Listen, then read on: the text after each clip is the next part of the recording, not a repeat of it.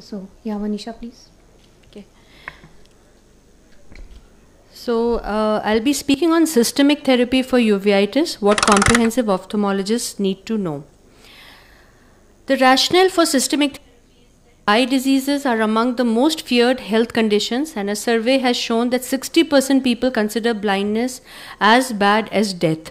Uveitis, is, as you all know, is a potentially sight threatening disease and it can occur due to infection or autoimmune etiology.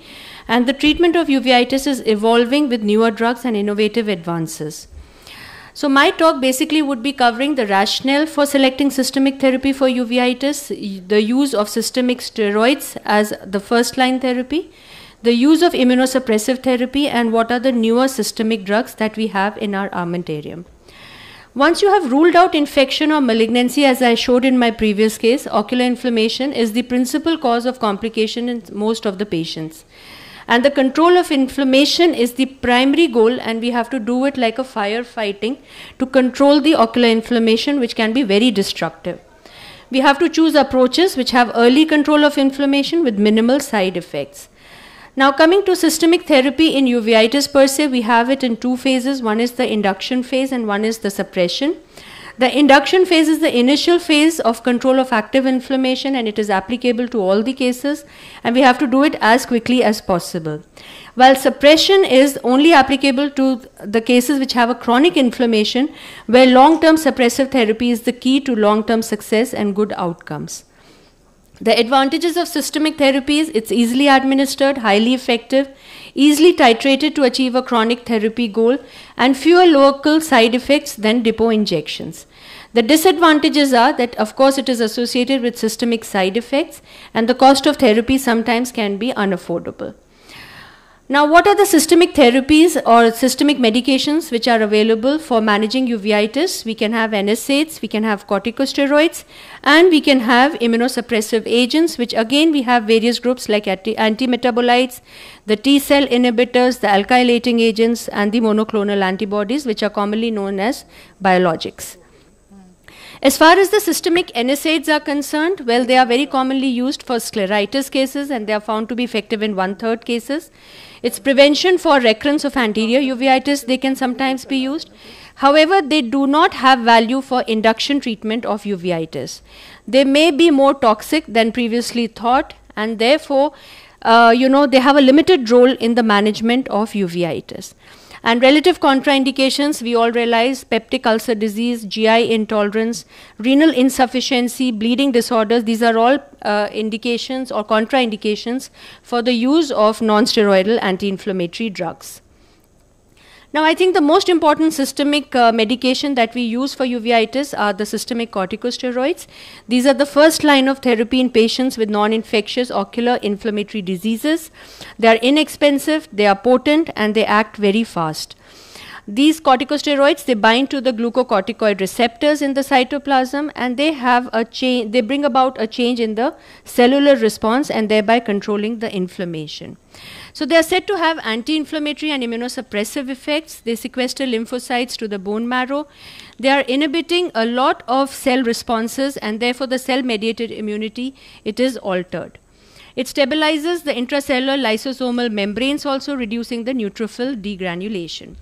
So the indications are chronic bilateral diseases beyond the anterior segment, scleritis that has failed to respond to NSAIDs, severe inflammation that is too painful or destructive for allowing the initial therapy to fail, the eye diseases associated with systemic diseases for which systemic steroids are indicated, and also supplementing the topical therapy. The relative contraindications to systemic steroids would be diseases which are likely to be exacerbated by steroids, such as diabetes, hypertension, or psychiatric problems. And in ocular, we can have a contraindication in the form of pre existing CSCR. In children, relatively contraindicated as they hamper growth, and therefore, a low dose maintenance therapy can be used, but it needs a very close monitoring. The preparations of steroids are multiple which are available, but prednisolone is the most common form of steroid which is often used. We can also have intravenous, uh, you know, use of systemic steroids, which is known as the pulse therapy, and it is very often given in the dose of one gram per day for three days. found to be very useful in etiologies like VKH. It is also used when oral steroids fail to achieve a quiescence of ocular inflammation. It's also used for vision threatening macular lesions and also in those situations where we need a rapid control of inflammation. So these are the guidelines to use a systemic steroids. Maybe you can take a pick of this, where we start with 1 milligram per kg per day, often in the dose of 60 to 80 milligrams per day, and then a tapering schedule is used. Oral corticosteroids are often supplemented with calcium and with vitamin D. And this is something we have to keep in mind because there is always a risk of osteoporosis. So the induction phase is where you're going to be using a full dose of the systemic steroids in the dose of 1 milligram per kg and then you're going to gradually taper it. We are going to add immunosuppressive therapy if there is going to be no response after having started the corticosteroids for about 2 weeks to 1 month.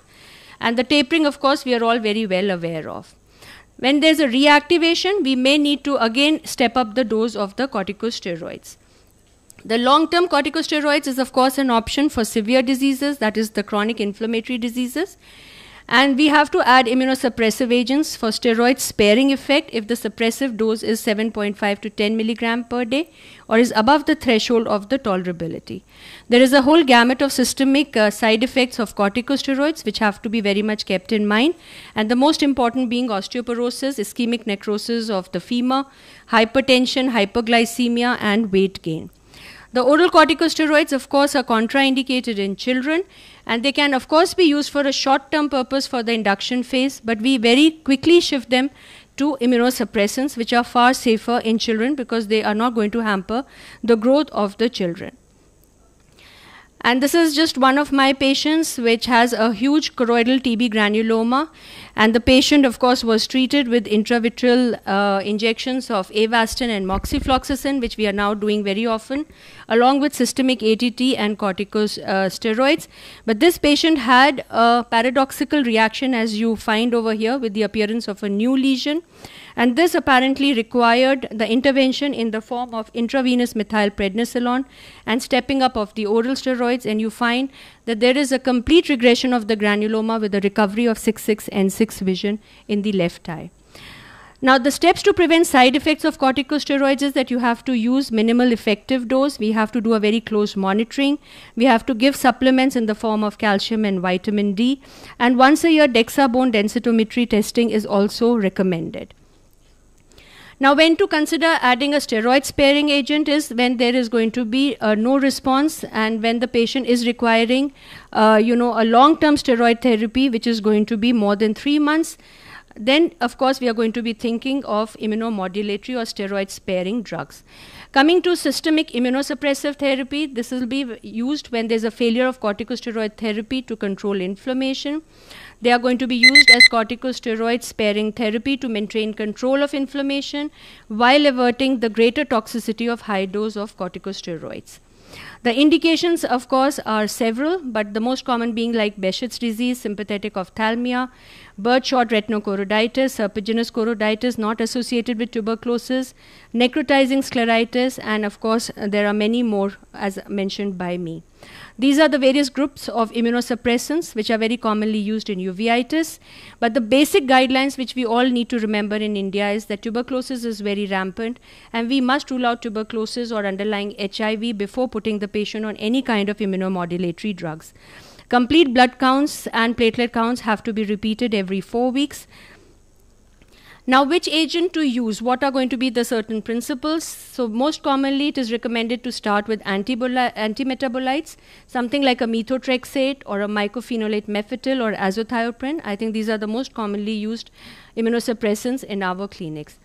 Coming to alkylating agents, well, they are not very often used because of their toxic effects, though they do have a good efficacy but they are mainly reserved for indications like Wegener's granulomatosis or severe or refractory cases of uveitis requiring more than one drug.